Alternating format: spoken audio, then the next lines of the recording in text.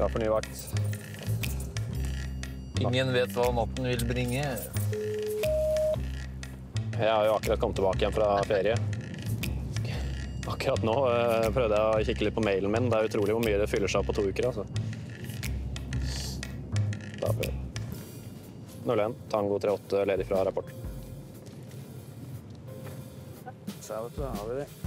Fartsgrensa er jo Oi, se på den, da! Han var jo stoppa. Han har jo dørene åpne. Det er jo ikke bra. Å kjøre med en henger med dører som er åpne på den måten der, det er klart det er farlig hvis det er syklister eller fotgjengere rett på sida langs veien. Så kan plutselig de her slå borti folk.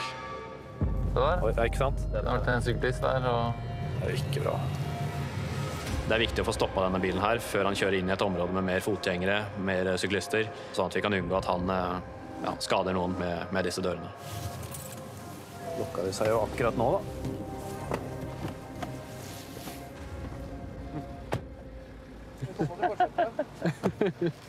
Vi tok han. Hei, god dagen. Vi starte med, har, du førerkortet med deg?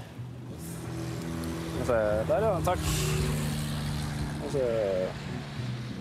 Vi kjører på sommerdekk i åtte minus, altså. You just bought it? Ja, ok, ja. Those are definitely not winter tires. No. But actually, the main reason we're stopping you is not the tires. if you want to come out of the car a bit, you take a look at the back doors. Yeah. Når bilfører kommer eh, bak der og får se dette her, så husker han jo sjøl hva han har gjort for noe. Han husker jo at han har glemt å lukke disse her, og har rett og slett bare dritt seg ut sjøl. They were swinging out into the road. Yeah, they were when you turn at the roundabout, they were wide open. Uh, uh, with these doors, if this had caused any dangerous situations, or if you were driving in a more like uh, urban area with pedestrians, bicycle, you would have lost your license for this. Oh. Um, in this case, it's a narrow trailer. There, there weren't really any dangerous situations happening. No cargo fell out or anything. Uh, so we'll let you go with the warning. Her på stedet så var det ikke noen fotgjengere, det var ikke noen syklister, det oppsto ikke noen farlige situasjoner, heldigvis. og Det var heller ikke noe fare for at noen skulle falle ut av denne hengeren, for den var jo tom.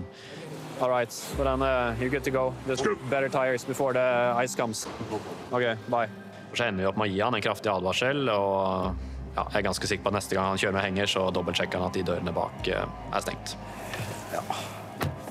Det var helt klart viktig å få stoppa han eh, der vi fikk stoppa han, fordi eh, han var på vei til å kjøre til et mye mer uh, befolka område, område med mer fotgjengere.